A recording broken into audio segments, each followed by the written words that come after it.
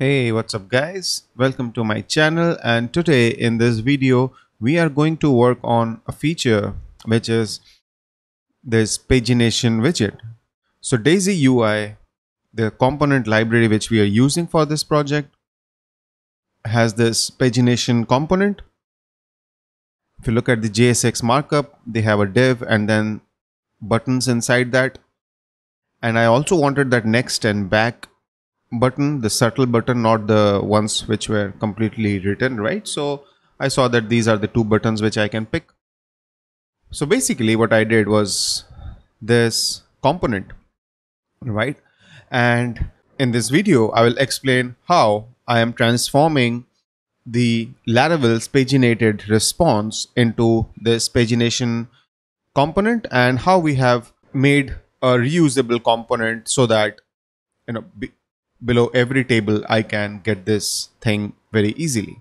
So the first thing that we need to do is let's go to the URLs index.tsx page and I have made some changes over here. the first thing is obviously this pagination. So I have a check whether the URL data dot total is present or not. If it is, and if that total is more than the URLs per page, so for example, right now, my pagination is 1. Let's just say if I have a pagination of 5 and if I refresh, you won't see the pagination. Why? Because at this point, I am showing all the data. So there is no need for a paginator. So that condition fulfills that thing. That is the condition based on which I am displaying this entire div. Okay. I have this pagination component now. I'm sending the entire data the entire URL data which is coming from the Ajax request. So the state variable is being used over here and on change I am having a function which is again a, a function which changes the state. I am keeping a track of the page number. So as you can see, first thing is I have a router.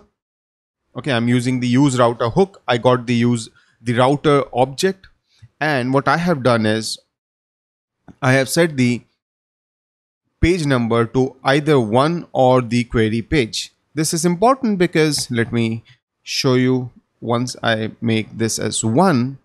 And if I refresh when I go to URLs and then if I do page 2 can you see this URL changes right? This is exactly what even Laravel suggests us to do so that is the reason I have added that query param. So that state variable is tracking the current state, uh, sorry, the number, the page number. Okay. And this hasn't changed really. And the delete hasn't changed as well. Initially, I had a code which would, you know, fetch the data based on the component mount. So it was something like this. But then I have a better option now because the page will set every time another page component renders, right? So I have in the use effect, I have done this. Then I set the state loading page, uh, set loading state to true. This, this is part of the previous code. I added just this line of code where you know I am setting the router to have that query parameter. Then I fetch URLs, which is basically the Ajax call to get the data. This is the only change I have made in the URL listing page. Obviously, along with this you know, pagination thing. Now let's look at the pagination component. This is the most important piece and we need to understand what is happening over here. So in this component, what we are doing is there is these data points which I'm destructuring from the data property.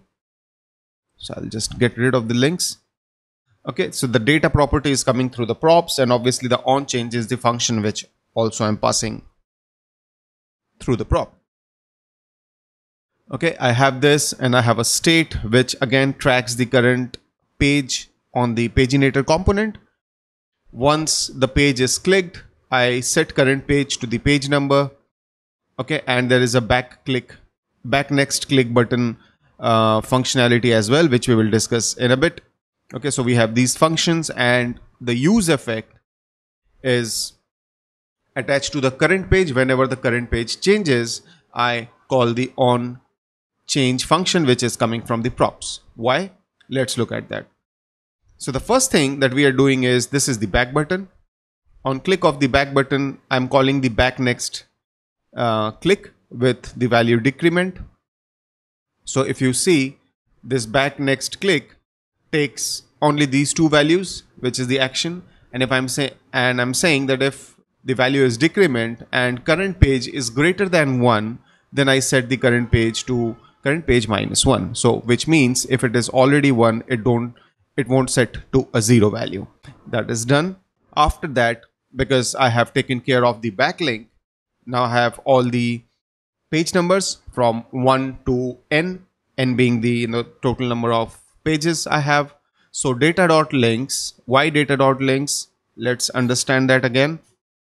So data is an iPaginated data, right? Where I have the entire pagination properties coming from Laravel, right? So I have, I'm expecting that the data prop will be of type iPaginated data. So data will have links based on the iPagination interface and it's an array. So I run a map on it. This is a logic for the button class, whether the button class should have that button active or not. The button active is responsible for giving this purple um, color to the current number. That's how we understand that currently we are on page 3, right? So this is the logic. Now, what is this? If index is equal to, what is index? Index is basically when we are iterating, if that length is the total length minus 1 or index is equal to 0, which means if it is the first one or if it is the last one, I don't do anything over here because those two links will be taken care here and here right? So the first element and the last element are excluded. If these are not the first and the last elements, then we run the map function, we render a button. The button has the class name based on the logic, whether it has to be active or not. So if the current page and the link label, so I'll show you the, okay, it will be a bit difficult, but I can do something to show you the Right. So link, right? So the link is an array where we have label, which is the number. Okay. So what I'm saying over here is that if my current page is equal to the current label, right? Then we are on the same page and hence we have the active button, else a normal button. So when we are iterating through the numbers, if the current page is 1 and the label also says that we are on page 1, then we get the active otherwise we don't right? So that logic comes in. The button class is ticked over here. On click of this button we are calling the page clicked function and we are sending the index. So let's see quickly what we are doing on this function. As as i already showed in here we have a very simple logic. We just set the current page number to the index which we are passing on. That is done and then we have this key so that know we don't have that rendering issue. The react rendering engine is able to identify individual buttons. And we are showing the link label which is the actual number which is coming over here one two three four. Okay? That is taken care of. And then the last button i have on click with the value of increment because this is the next button. And what happens during the increment. So if my action is increment and current page total is not equal to the total, sorry, current page, if my current page is not equal to the total number of pages, which means let's just say I have five pages and my current page is also five, then it shouldn't do anything. Otherwise, it will set the current page equals to um, current page plus one because I'm doing an increment. So when we are at one, it says that it sees that okay my total is 5 I am on 1 so I click next. It does 1 plus 1 on second it does 2 plus 1 3 and it can go up to 5 after that it will stop.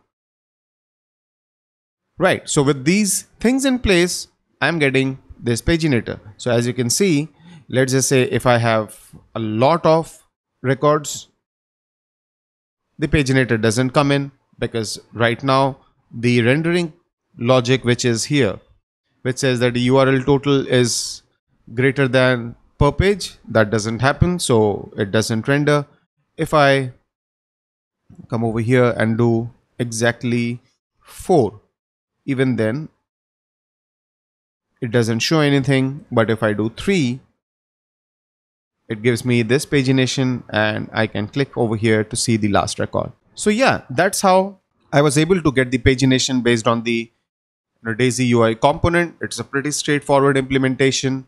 So yeah, that's about it guys. Thanks for watching. If you like this video, do click on the thumbs up icon and don't forget to subscribe to my channel.